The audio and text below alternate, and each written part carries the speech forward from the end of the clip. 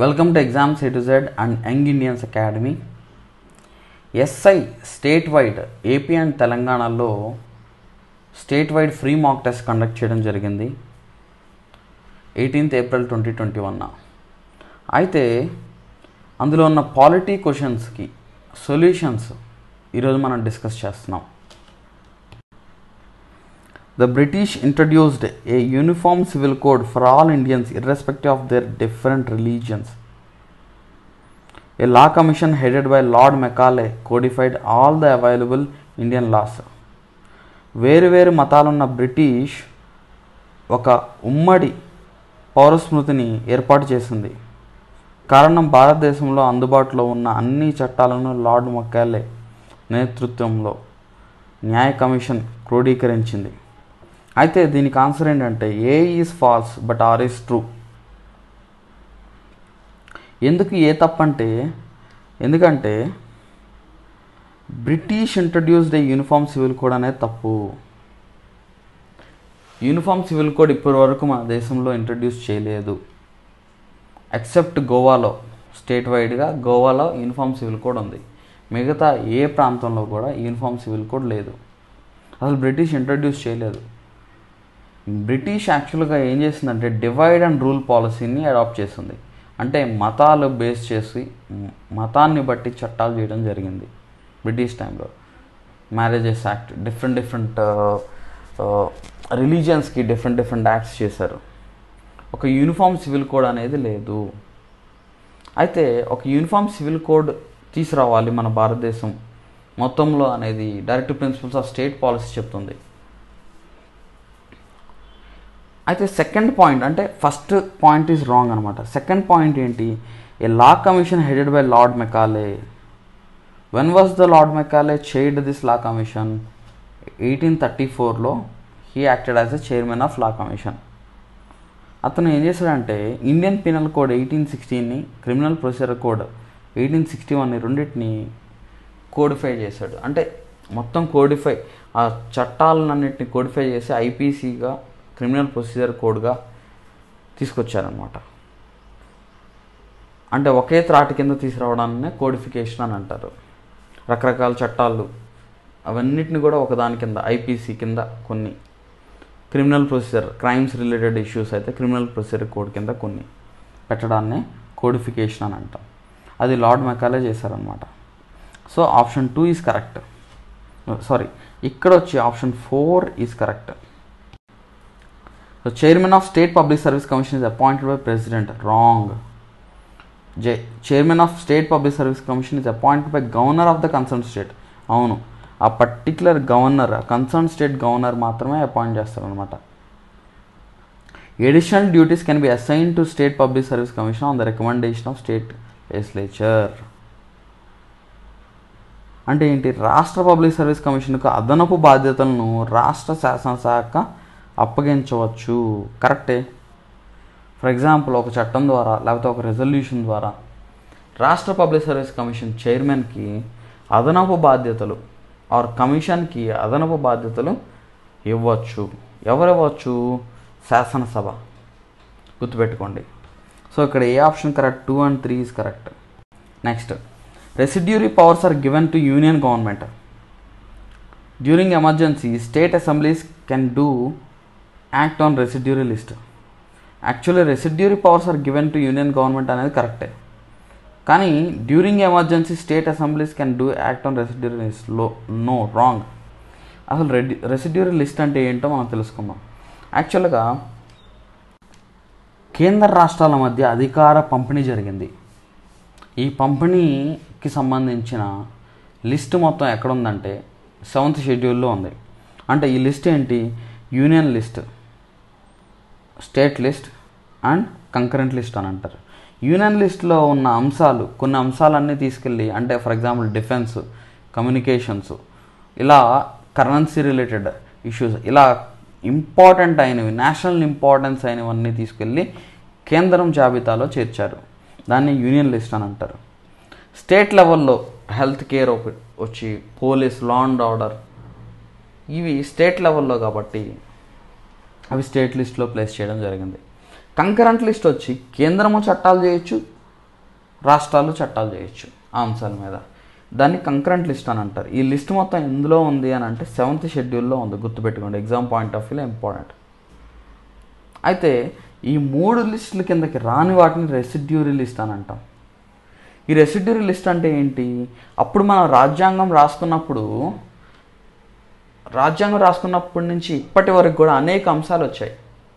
Challenges వచ్చాయి. ఈ కొత్త కొత్త అంశాలన్నీ ఎందులో ఉండాలని చెప్పిందంటే రాజ్యాంగం కేంద్రం ఈ కొత్త కొత్త అంశాలు ఏవైతే వచ్చాయో కొత్త లిస్ట్ మళ్ళీ సపరేట్ చేసుకొని యూనియన్ లిస్టులో కొన్ని స్టేట్ లిస్టులు అలా చేర్చకుండా అవన్నీ కూడా కేంద్రము పార్లమెంట్కి అధికారం ఉంటుంది చట్టం చేసే అధికారం అని చెప్పేసి కాన్స్టిట్యూషన్లో మనం రాసుకున్నాం అనమాట అంటే residuary comes under union government or parliament. So state assemblies can do act on residuary list అనేది తప్పు. సో ఎగ్జామ్ పాయింట్ ఆఫ్ వ్యూలో ఈ లిస్ట్ ఇంపార్టెంట్. లిస్ట్లో ఎన్ని సబ్జెక్ట్స్ ఉన్నాయి? ఇంపార్టెంట్ సబ్జెక్ట్స్ ఏంటి? ఏ లిస్ట్ కింద ఏ సబ్జెక్ట్ వస్తుంది అనేది తెలుసుకోవడం important. A is true but R is false. ఇది. Next.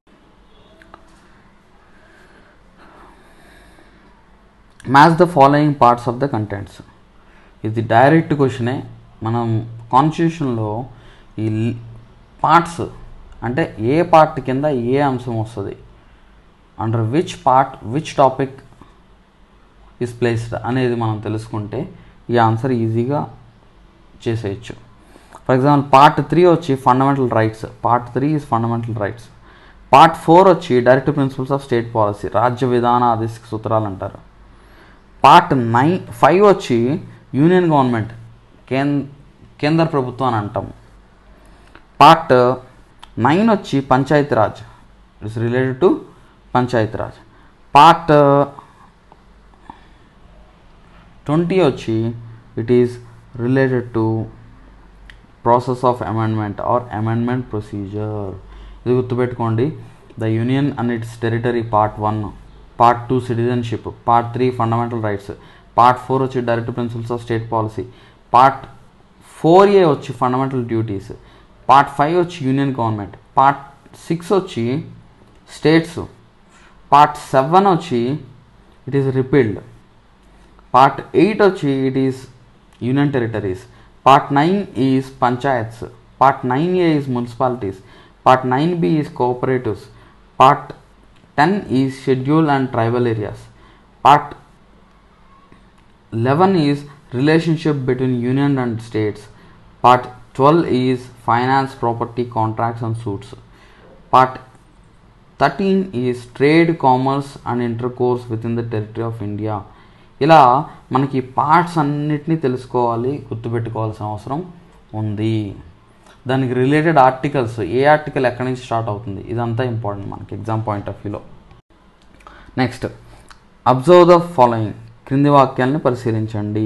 UPSC chairman is appoint by president of India UPSC chairman రాష్ట్రపతి నియమిస్తారు. అవును కరెక్టే the strength of UPSC has been left to the description of president the strength of UPSC has been left to the description of parliament ఈ second point correct third point wrong parliament కాదు ప్రెసిడెంటే president నిర్ణయిస్తారనమాట the members of UPSC hold office for the term of five years కాదు ఇది six years అది గుర్తుపెట్టుకోండి.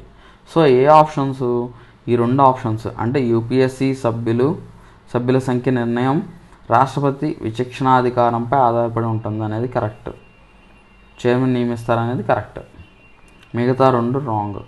ఎందుకంటే sixty six sorry six years and sixty five years అది గుర్తుపెట్టుకోండి. UPSC chairman next on which ground vice president of India is removed క్రింది వానలో ఏ కారణం ఆధారంగా ఉపరాష్ట్రపతిని తొలగిస్తారు? ఇది యాక్చువల్గా ఉపరాష్ట్రపతిని తొలగిస్తారు. ఇక్కడ ఏ ఆధారం ఒక ఆధారం గ్రౌండ్స్ అనేది చెప్ప చెప్పలేదన్నమాట. ఫర్ ఎగ్జాంపుల్ రాష్ట్రపతి వైలేషన్ ఆఫ్ ద కాన్స్టిట్యూషన్ రాజ్యాంగం ఉల్లంఘిస్తే రాష్ట్రపతిని అభిశంసించవచ్చు అంటే ఇంపీచ్ చేయొచ్చు.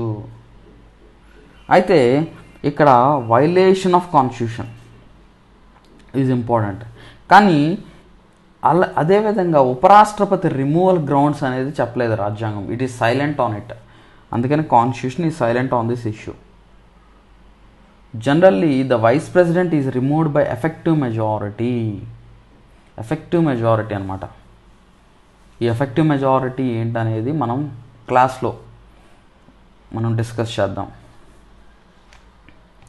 And unlike a true federal in India the residuary powers were given to parliament constitution of India allows only single citizenship ఈ రెండు కరెక్టే A and B are correct but R is not the correct explanation of A జనరల్గా United states of అమెరికాలో అయితే ఏంటంటే residuary powers are left with the state అనమాట అంటే రాష్ట్రాలకి అధికారం ఉంది రెసిడ్యూరీ పవర్స్ మీద చట్టం చేసే అధికారం.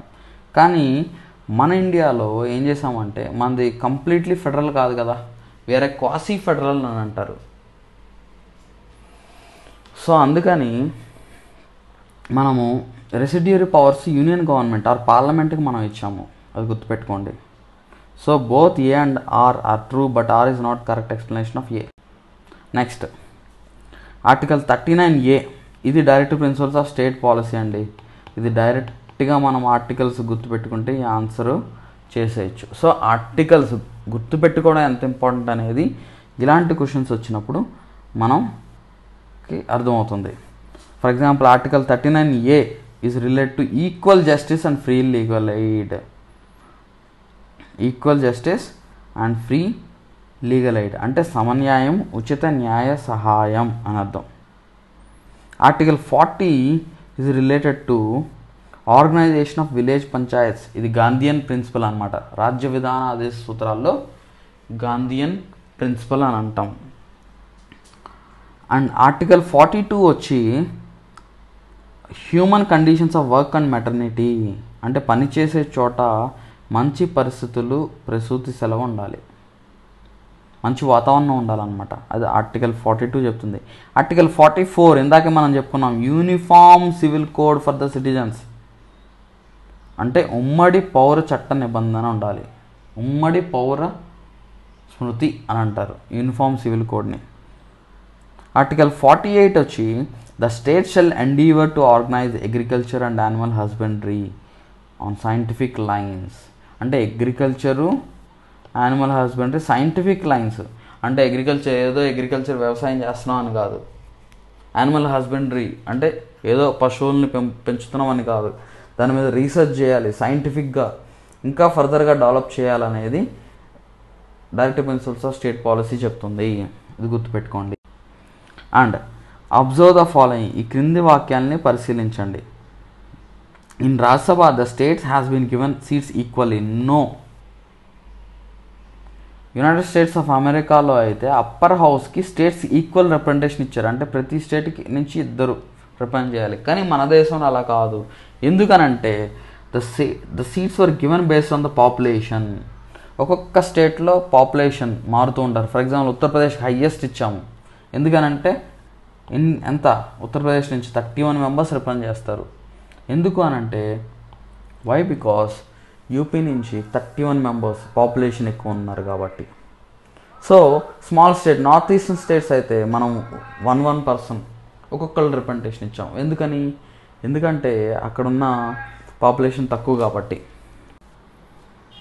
Amendment bill can not be introduced in constitution Rajya Sabha అన్నాడు అంటే కాన్స్టిట్యూషన్ అమెండ్మెంట్ బిల్ జనరల్గా ఇక్కడ మనం చెప్పుకునేది. రాజ్యాంగ సవరణ బిల్లు రాజ్యసభలో ప్రవేశపెట్టలేరు అన్నారు. ఇది రాంగ్ ఎందుకనంటే it can be introduced either in Rajya Sabha or in Lok Sabha. ఎక్కడన్నా ఇంట్రడ్యూస్ చేయొచ్చు. రాజ్యసభలో కానీ లోక్సభలో కానీ ఎక్కడన్నా ఇంట్రడ్యూస్ చేయొచ్చు. గుర్తుపెట్టుకోండి. All India services can be created by Rajya Sabha. Yes all India services create చేయాలంటే రాజ్యసభనే ఇనిషియేట్ చేయాలి. Why because all India services ఈ ఆల్ ఇండియా సర్వీసెస్ ఆఫీసర్స్ అందరిని ఎక్కడికి పంపిస్తారంటే they will send it to the states only so స్టేట్స్ని represent చేసేది ఏంటి Rajya Sabha? So రాజ్యసభే దాన్ని ఇనిషియేట్ చేయాలి. So it can be all India service services can be created by Rajya Sabha. అంటే initiation process ఎవరు initiate చేయాలి all India services creation initiation process Rajya Sabha గుర్తుపెట్టుకోండి so option two and four is correct ఇక్కడ. Two and four ఇది ఇది. The present opinion of Supreme Court about the status of preamble is preamble ప్రవేశకపై ప్రస్తుతం supreme court అభిప్రాయం ఏంటి? ఇది రాజ్యాంగంలో భాగం అలాగే దీనిపై దీనిని సవరించవచ్చు అవును. ఇది ప్రియంబల్ అసలు రాజ్యాంగంలో భాగమా కాదా అనే దాని గురించి కొన్ని కేసులు ఉన్నాయి. దీని మీద పెద్ద ఘర్షణ జరిగింది. Yes preamble is a part of the constitution it is the part of the constitution and it can be amended ఇది గుర్తుపెట్టుకోండి. దాన్ని సవరించవచ్చు. But it is neither the power nor the restriction on the parliament to make the make the law అంటే parliament మీద ఆంక్షలు విధించ విధించదు. పార్లమెంట్కి అధికారాన్ని పవర్నివ్వదు చట్టం చేయడానికి. Preamble. Okay it is a part of the constitution and can be amended. గుర్తుపెట్టుకోండి. National emergency can be declared even if security of India is not in threat. But there is a K case of imminent danger. Yes అవును. Security of India is not in threat. కానీ danger ఉండొచ్చు. ఇక్కడ చూడండి భారతదేశ భద్రతకు ముప్పు లేకున్నా ప్రమాదం పొంచి ఉంటే ఎస్ జాతీయ అత్యవసర పరిస్థితి విధించవచ్చు అయితే the operation of national emergency always applies to whole of India ఇది wrong the operation of national emergency can be applied to part of India or whole of India రెండిట్లో ఏదన్నా పర్లేదు. ఆల్వేస్ అన్నాడుగా అది అందుకనే రాంగ్ ఇది. జాతీయ అత్యవసర పరిస్థితిని ఎప్పుడూ భారతదేశ భౌగోళిక భాగం మొత్తం ఉంటుంది. కాదు. భౌగోళిక భాగంలో కొంత పార్ట్లో అన్నా విధించవచ్చు లేకపోతే పూర్తిగా అన్నా విధించవచ్చు forty fourth amendment made changes to national emergency అవును. ఫార్టీ ఫోర్త్ అమెండ్మెంట్ ఇప్పుడు జనతాదళ్ నైన్టీన్ సెవెంటీ ఎయిట్లో దీన్ని సవరించడం చేశారనమాట ఎందుకని? అప్పుడే ఇందిరాగాంధీ దానికన్నా ముందు ఇందిరాగాంధీ నేషనల్ ఎమర్జెన్సీ డిక్లేర్ చేస్తుంది on the base of internal disturbance అంతర్గత కల్లోలాలు ఉన్నాయని అలా నేషనల్ ఎమర్జెన్సీని విధించడం వల్ల దేశం మొత్తం కూడా సో నేషనల్ ఎమర్జెన్సీని అంటే ఈ నేషనల్ ఎమర్జెన్సీ అనే అంశాన్ని తీసుకొని ఇందిరాగాంధీ అధికార దుర్వినియోగం చేసిందని దీన్ని సవరించడం చేయడం జరిగిందనమాట నేషనల్ ఎమర్జెన్సీ ఆర్టికల్స్ని అయితే ఏం చేశారంటే ఇంటర్నల్ డిస్టర్బెన్స్ని ఆధారంగా తీసుకొని అంటే అంతర్గత కల్లోలాలని ఆధారంగా తీసుకొని జాతీయ అత్యవసర పరిస్థితిని విధించకూడదు అని నేషనల్ కాన్స్టిట్యూషన్ అమెండ్మెంట్ చేయడం జరిగింది. ఇది గుర్తుపెట్టుకోండి. అయితే ఇప్పుడు నేషనల్ ఎమర్జెన్సీ ఎప్పుడు విధించవచ్చు war or armed rebellion internal armed rebellion అయినా పర్లేదు. కానీ ఇంటర్నల్ డిస్టర్బెన్స్ అంటే ఏంటి? ఇప్పుడు ఫర్ ఎగ్జాంపుల్ ఇంటర్నల్ డిస్టర్బెన్స్ ఏదైనా చెప్పొచ్చు. సో దాన్ని బేస్ చేసుకొని నేషనల్ ఎమర్జెన్సీ విధించకూడదు అని అని ఫార్టీ ఫోర్త్ అమెండ్మెంట్ చెప్పిందనమాట. ఇది గుర్తుపెట్టుకోండి అమెండ్మెంట్స్ ఆర్ చాలా చాలా ఇంపార్టెంట్ ఎగ్జామ్ పాయింట్ ఆఫ్ వ్యూలో. డైరెక్ట్గా ఎగ్జామ్లో అడుగుతారు. Next who among the following was the first non Congress prime minister of India. Bharat దేశంలో తొలి కాంగ్రెసేతర ప్రధాని ఎవరు? ఇది ఇంపార్టెంట్. ఎందుకనంటే కాంగ్రెస్ హయాం నడుస్తుంది బాగా. అయితే జనతా పార్టీ వచ్చింది. ఎందు ఎందుకని నేషనల్ ఎమర్జెన్సీ తర్వాత ఎత్తేసిన తర్వాత ఎలక్షన్స్ వచ్చినప్పుడు జనతా పార్టీ యాక్టివ్గా ప్రజల తరపున నిలబడి ఎమర్జెన్సీ టైంలో స్ట్రాంగ్గా ఉంది కాబట్టి జనతా పార్టీ గెలిచింది. అప్పుడు మొరార్జీ దేశాన్ని నిలబెట్టారనమాట he is the first non Congress prime minister of India very very important ఇంకా మీరు కామెంట్ సెక్షన్లో నాన్ కాంగ్రెస్ ప్రైమ్ మినిస్టర్ ఇంకెవరెవరు ఉన్నారు? Who is the longest serving non Congress prime minister అని కూడా కామెంట్ సెక్షన్లో మెన్షన్ చేయండి. So Morarji Desai is the fourth PM of India nineteen seventy seven నుంచి నైన్టీన్ సెవెంటీ నైన్ వరకు ఉన్నారు Janata Party. And he is the second deputy prime minister of India and Bharat Ratna కూడా వచ్చింది nineteen ninety వన్లో he was born in Gujarat గుజరాత్లో పుట్టారు. Very important NV Ramana was recently appointed as the forty eighth chief justice of India ఇప్పుడున్నది ఇప్పుడున్న chief justice ఎవరంటే Sharad Arvind Bobde.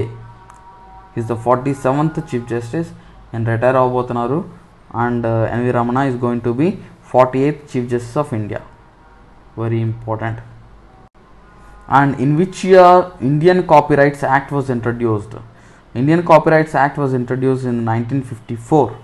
Very very important so ఇలా చట్టాలు important వీటన్నిటి వీటన్నిటికి ఏది ఇంపార్టెంట్ ఏది ఇంపార్టెంట్ కాదు ఏది చదవాలి ఏది ఎగ్జామ్లో ఏది పర్ఫెక్ట్గా చదివితే మీకు మార్క్స్ వస్తాయి అనేది మేము కంప్లీట్గా ఈ పాలిటీ సంబంధించిన కోర్సెస్ ఎకానమీ సంబంధించిన కోర్సెస్ అండ్ జాగ్రఫీ సంబంధించిన కోర్సెస్ అర్థమెటిక్ అండ్ రీజనింగ్ సంబంధించిన కోర్సెస్ యాప్లో మీరు వినొచ్చు. We're about to launch all these courses arithmetic course already ఉంది. వినండి యూటిలైజ్ చేసుకోండి. And polity course and geography course కూడా రాబోతున్నాయి. మిగతా సబ్జెక్ట్స్ కోర్సెస్ కూడా రాబోతున్నాయి. ఫర్ ఎస్పెషల్లీ ఎస్ఐకి ఎలా చదివితే వస్తుంది? కంప్లీట్ ప్యాకేజ్ మేము ఇవ్వబోతున్నాము. Uh, లోయెస్ట్ ప్రైజెస్లో యూటిలైజ్ చేసుకోండి. అండ్ uh, మీ ఫ్రెండ్స్ అందరికీ ఈ యాప్ లింక్ షేర్ చేయండి. Exams A to Z app share చేయండి. యూటిలైజ్ చేసుకోండి. All the best. Thank you